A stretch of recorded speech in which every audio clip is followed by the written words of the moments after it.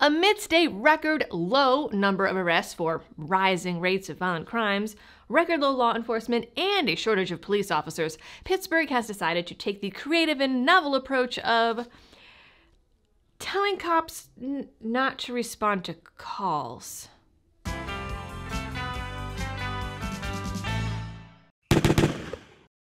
Hello everyone and welcome back to the channel with a story about a law enforcement tactic that has gone swimmingly in places like Detroit, which is known for low crime rates and happy living. I still remember the announcement that Detroit police would no longer respond to non emergency calls. And I remember when other departments and even paramedics did the same thing during the great cough of 2020. In all of those cases, it was decidedly not great.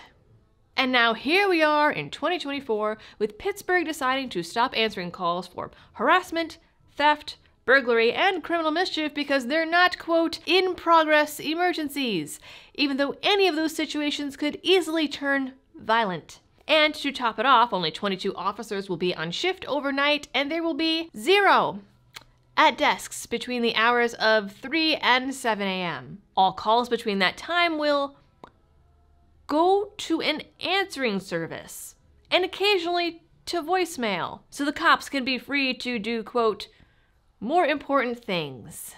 I feel safer already.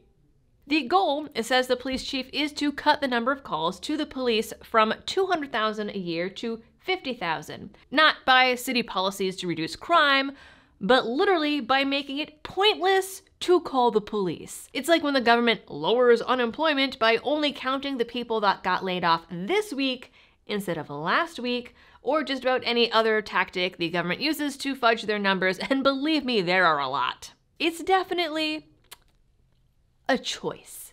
Now, I do hope the good folks of Pittsburgh have signed up for the Attorneys on Retainer program because I feel like things are about to get ugly. And just because the cops are no longer doing their jobs, that doesn't mean that the DA won't try to nail you to the wall. After all, the cops have no duty to protect, and the government doesn't want you protecting yourself either.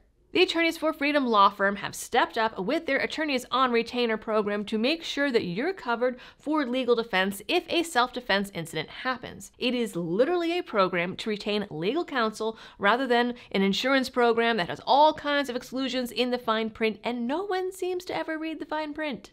Attorneys on Retainer has you covered for misdemeanors, felonies, appeals, and even bail bonds. It doesn't even matter if you were in a gun free zone or if you carry in a state that doesn't exactly award their citizens carry licenses, no matter how otherwise law abiding you are. Unlike insurance companies, their only requirements are that the incident happened after purchase and coverage and that you reasonably acted in good faith. And I have a feeling we're going to be seeing a lot more folks in Pittsburgh feeling like they have no other choice but to act in good faith.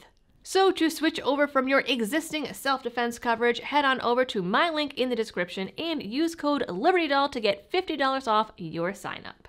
So the part about picking and choosing which calls they respond to and someone somewhere, not you, deciding whether or not you are an emergency is concerning enough. But now we have this block of time where there are only 22 officers between six police stations in the city, and none of them will be in the office between 3 and 7 a.m. Now, the police chief says that they only receive 8% of their calls between this window, and so the data doesn't support having officers on duty to answer or report to calls. But he also already told us that the cops get 200,000 calls a year in the city. 8% of that is still 14,000 calls.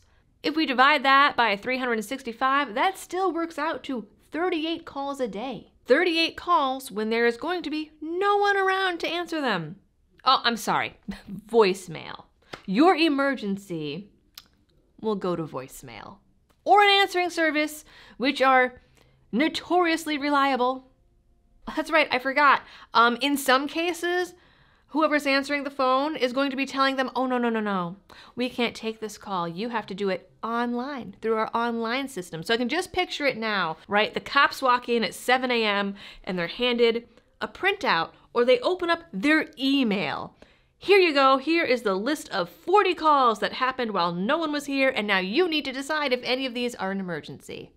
That's going to go so well. Now, granted, you can't force people to be cops and you can't force them to work ungodly hours, and the people of Pittsburgh were largely on board with the BLM to fund the police movement, and these are now the fruits of their labor. I see you in the comments. I know there's going to be people saying it. In a way, they're getting what they voted for.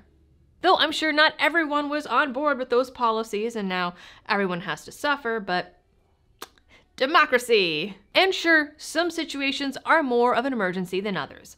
But if your taxes are paying for a service, the government has to figure out how to provide that service.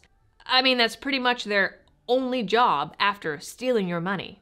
All of this is just more proof that you are your first and best line of defense. People forget that the police's job is law enforcement after the crime has been committed. Their job, as per the Supreme Court, is not to protect you, it's not even to stop crime, it is simply to enforce the law after the fact. Especially in Pittsburgh, where they won't even be answering the phones.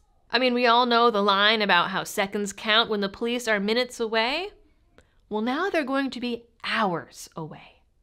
I hope the people of Pittsburgh are holding on to their butts and maybe next time around, they'll change their mind on some of these policies. All right, folks, that is it for this video. Uh, this is what, the second or third city in the last year that is taking on or proposing these purge type policies? Oh man, the country is in an interesting place. Anyways, that's it for this video. You guys know the drill for all of the algorithm things. Please ring that notification bell so that you know about all of my new videos coming up because otherwise YouTube probably won't tell you. And as always, thanks for tuning in and happy shooting.